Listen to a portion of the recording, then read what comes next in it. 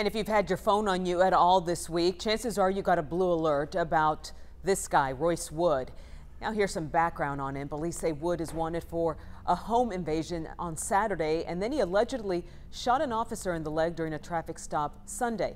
Police have since canceled the alert, even though he's still not in custody.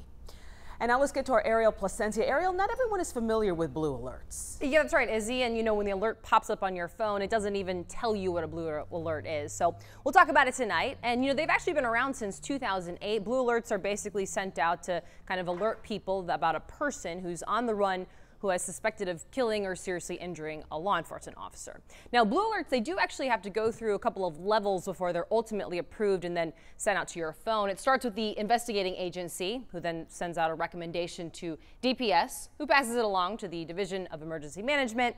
Then they send it to the mobile carriers who are part of FEMA's warning system. So it is very possible that you got alerts just like I did around Monday at 6.07 a.m., maybe Tuesday at 10.19 p.m. saying DPS issues a blue alert on behalf of Wise County Sheriff's Office for Royce Edward Wood.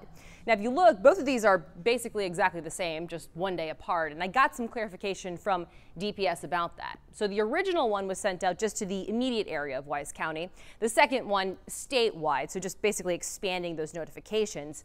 Both of these were at the request of the Wise County Sheriff's Office. And yesterday afternoon, we found out that the blue alert was discontinued for Royce Wood. And I want to point out, he is still at large. He has not been captured yet, so remember that fact. But the Wise County Sheriff told me that they canceled it for two reasons. The first was they expanded the search even farther, and the second was that he was getting a lot of calls about people upset about the timing of these alerts.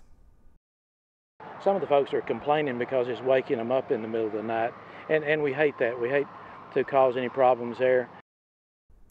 So here's what DPS says online. The blue alerts can be sent out, their notifications between 6 a.m. and 11 p.m. So again, if we look at back when I got them, 6.07 a.m., 10.19 p.m., that does fall in the range, but a lot of people kind of wondering, hey, these times are pretty close to when a lot of people are going to bed or they're asleep. I reached out to DPS and I'll let you know when I hear back.